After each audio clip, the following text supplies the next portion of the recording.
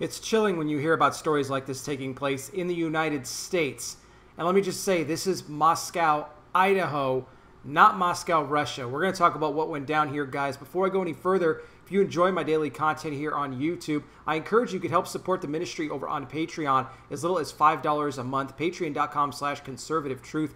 That link in the description gets you access to over 20 exclusive podcasts where I talk a lot more about sensitive information. You get the alerts for anything that goes up on Patreon, unlike YouTube, where you're not going to get notified for every video that I put out. So when you guys get done watching this video, browse back to check what you missed. Like this video, share it, hit the bell, subscribe, and I wear the glasses because I'm blind. Now, there was what were they calling a Psalm Sing protest that was held at the City Hall parking lot in Moscow, Idaho here just the other day. And again, Moscow, Idaho, not Moscow, Russia. This was being presented on by the Christ Church there, the local church. Over 200 people in the parking lot. What were they doing?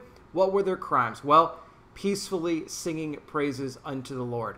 But they were apparently in violation of an order there by the mayor that says that everybody who is outside we need to maintain social distancing and wear face masks. And well, they were not doing that here because they were protesting these very rules. So what happens during the midst of all this, the singing that's going on?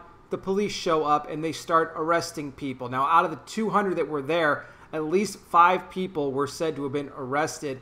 And one of those was a candidate for the county commissioner there by the name of Gabriel Rench. He was one of the ones that was arrested. This is sad to see this. Now, I'll put a link down below in the description. You guys can watch the video to see exactly what happened. I mean, this is going to this will this will pull at your heart. Uh, again, you never thought you'd see this happen. These people are continuing to sing as the arrests are being made, as the police are going up and arresting them. This isn't Idaho. This isn't at California, Washington, Oregon, Illinois, New York, or any other you know liberal Democrat-run state. This is in a red state like Idaho that this is happening in. So who's to say it's not going to start spreading into other areas too that are more conservative? I think a lot of people think that, you know, if you live in a conservative state, they're all of a sudden going to be safe, that, you know, you don't have to worry about anything, that they're going to protect your liberties and your freedoms. That's just not the case. And I say this all the time.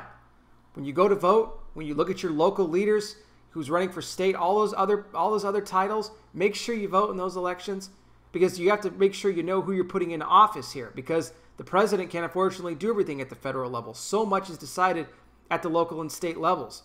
And now, because of this, we see these people getting arrested. And again, this is in America. And this is sad over face masks and social distancing. This has been going on for far too long. Why is this not a civil rights investigation? Why is an investigation not being launched? Where's the Attorney General in this? Are civil liberties being violated, the Constitution being completely thrown out the window? As Americans, we should be able to choose to live our lives with whatever risk that we deem fit. But no, the government is telling us that we can't do that. We don't have religious liberty anymore. We're not allowed to sing in public anymore, but we can riot. We can riot, we can be anarchists, we can do all that stuff, but now you can't even sing in a parking lot anymore without getting yourself arrested. Again, guys, I'll put those links down below in the description of this video. Perhaps if you attended this event, if you were there in Idaho and you'd like to share some more information with us, feel free to do so in the comment section. Thank you guys so much for watching. I really do appreciate it. I'll be back with more. You guys take care. Please be safe out there. God bless each and every single one of you, and I'll talk with you soon.